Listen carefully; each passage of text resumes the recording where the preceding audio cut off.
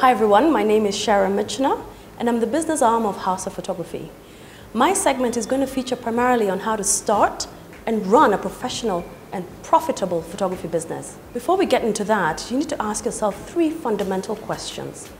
First, do you have a passion for this?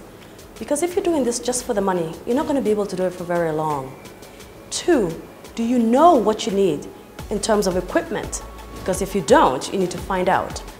And three, are you able to sustain yourself financially until your business is off the ground? Because you don't want to start something that's your life's passion and have to stop for lack of money.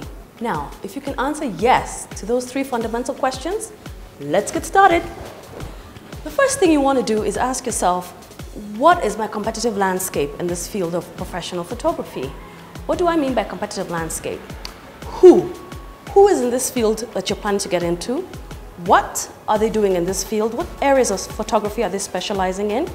And thirdly, where? Where are they practicing their photography? Now, the best way to find out who, use your social media, use your internet. You can find out easily who are the top 10, 20 photographers in this market.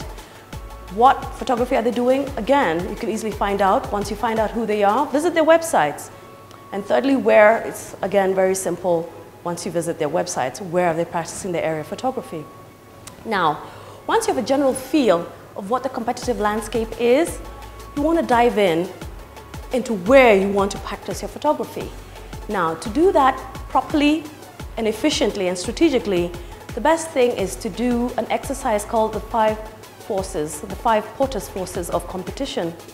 Once you do that exercise, and that's what we're going to look at the next tutorial, it'll engage you in ways of competing in this industry professionally and profitably.